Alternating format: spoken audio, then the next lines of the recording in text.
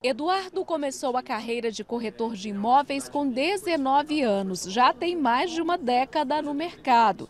Pelo talento, se tornou diretor numa incorporadora soube seguir bem as regras da profissão. Um dos grandes pontos hoje para quem quer se tornar corretor é ter esse pensamento. A profissão ela atrai muito pelo ganho, mas é uma profissão desafiadora. Então a gente precisa ter uma dedicação muito grande e principalmente resiliência, que a gente vai lidar sempre com o fato de eu vendi de manhã e à noite essa venda caiu. Então você precisa estar num estado emocional é, muito tranquilo para entender esse processo. Maritônio hoje é dono de imobiliária. Começou num tempo que a profissão, embora não fosse tão concorrida, era bem mais difícil. A fonte de informação nossa era um jornal.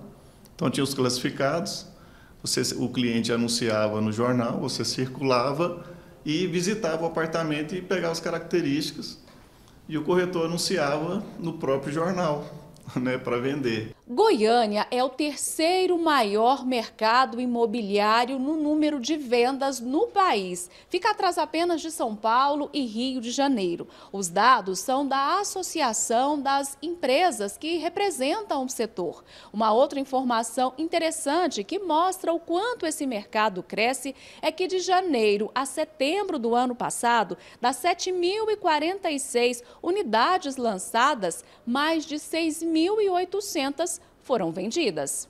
Isso faz com que a profissão de corretor esteja em alta na capital. O Conselho Regional da categoria, o Cresce, aponta que o Estado em crescimento favorece a entrada de novos profissionais, querendo uma fatia desse negócio. No entanto, é preciso profissionalização e dedicação. Nós precisamos encarar o nosso cliente como se nós tivéssemos trocado de lugar. Tudo aquilo que a gente gostaria que alguém fizesse para a gente na hora de nós adquirirmos um imóvel, é o que nós devemos fazer para o cliente. Especialista em imóveis de luxo, Salomão curte os lucros das comissões na praia e dá dicas de como ter ganhos para lá de atrativos. Se você tiver atitude, paciência e persistência, vocês vão ter sucesso. Com ganhos acima de 60, 100, 150 mil reais por mês. Sim, é possível. Desde que vocês saibam trabalhar, usar o digital, network, relacionamento. Então, tudo que vocês forem fazer no mercado imobiliário, seja um especialista.